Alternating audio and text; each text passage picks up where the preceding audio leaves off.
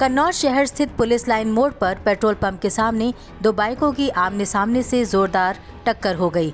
इस हादसे में दो लोग घायल हो गए, जिसमें एक बाइक चालक गंभीर रूप से घायल हो गया, जिसे घटनास्थल पर मौजूद लोगों ने निजी संसाधन से जिला अस्पताल भर्ती कराया।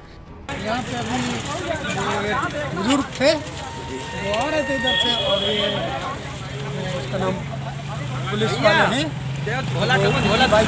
हुआ है तो अभी हमने हमारे महल्ले के दो लड़के हैं उनके हाथ उन्हें जिला अस्पताल भेजा है उनकी देखने के हिसाब से तो उनकी चोट जो है गंभीर है और बाकी तो आपने देखा ही होगा। बताओ। पेट्रोल पंप है बताते चले कि ड्यूटी पर तैनात सिपाही जलालपुर से पुलिस लाइन जा रहा था। तभी पुलिस लाइन मोड़ पर पेट्रोल पंप के सामने दो बाइक में जोरदार भिड़ंत हो गई, जिसमें सिपाही के मामूली चोटें आई हैं, जबकि एक अन्य बाइक सवार गंभीर रूप से घायल हो गया।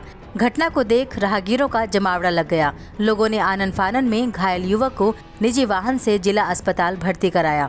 द पंचौरा न्यूज़ के लिए कन्नौज से मुजाहिद मजीदी की रिपोर्ट। अगर आपको ये रिपोर्ट पसंद आई हो तो चैनल को सब्सक्राइब करें। बेल आइकन ज़रूर दबाएँ ताकि हर अपडेट का नोटिफिकेशन आपको मिलता रहे। साथ ही लाइक करें शेयर करें और कमेंट करना बिल्कुल भी मत भूलिएगा। जुड़े रहिए अपने शहरों की खबरों के संसार के साथ, पंचौरा न्यूज़ के साथ।